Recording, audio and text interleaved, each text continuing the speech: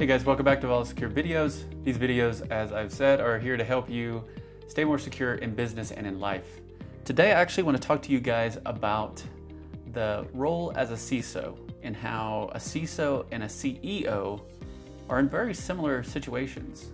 Now, how would that be the case? So, you know, first off, I've said in the past that, you know, burnout is one of the top issues of CISOs leaving their job.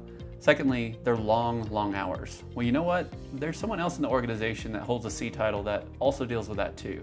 I come from both worlds. I've been a CISO and provided that service. I'm a CEO of my company now, and so understanding the problems of running a business, I recognize both of those, and it can be lonely. Uh, certainly, the inundation of problems, whether you're a CISO or a CEO, are are never easy. The easy fixes don't come to you generally you know, there are things that you know, users can fix themselves or you can take to a support technician or whatever the case is. It's normally the harder problems. CEOs is the same way.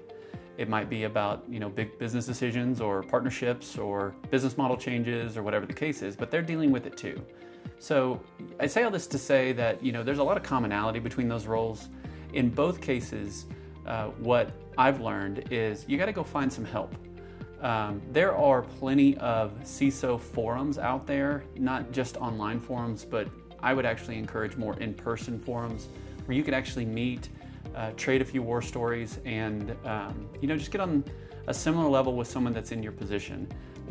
Additionally, there are CEO groups that I've been a part of in the past, and those have helped guide me through. Uh, those forums often act as almost like your board of directors uh, for you. So I'd encourage you to do that recognizing that you know there are, are other folks out there doing that, um, and just look for those forums online. You know, um, again, this could be a super lonely job, and at the end of the day, it's really about finding the right people and the right resources to help um, improve your leadership and to get through those hard times. And ultimately, you might even knock on the CEO's door because I think you might ultimately find that you guys have very similar problems. So I hope this has been a good tip. And if you have any feedback, let us know, and we'll see you guys in the next one.